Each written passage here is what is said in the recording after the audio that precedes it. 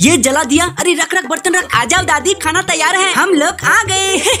अरे वाह, इतने सारे लजीज खाने। आज तो मज़ा आ गया। चल बेटी, सारा खाना गटक ले। जल्दी से साइड में आ जा चमन। इस बुढ़ी को आज पता चलेगा। दूसरों का खाना खाने में बहुत मज़ा आता है ना? अरे ढोलू बोलू, इधर आ जाओ, एक साथ खाएँगे। अरे आंटी, आप हमसे बड़े हैं। आपके सामने हम लोग कैसे खाएँगे? ओ तो तुम दोनों को शर्म आती है। बहुत अच्छी बात है। अरे बेटी, सारा खाना गटक ले। वो दोनों नहीं आने वाली।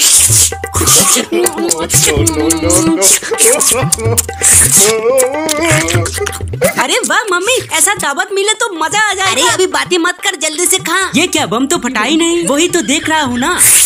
अरे वाह मज़ा आ गया। पेट भर गया मम्मी चलो। अरे ढोलू इधर तो आओ। नहीं दादी हमें बहुत शर्म आती है। अरे इनको छोड़ो हमारा काम हो गया ना चलो। अरे चल जल्दी से देखते हैं। अभी तक तो फट जाना चाहिए। जल्दी से उठा। लाइक सब्सक्राइब कर देना।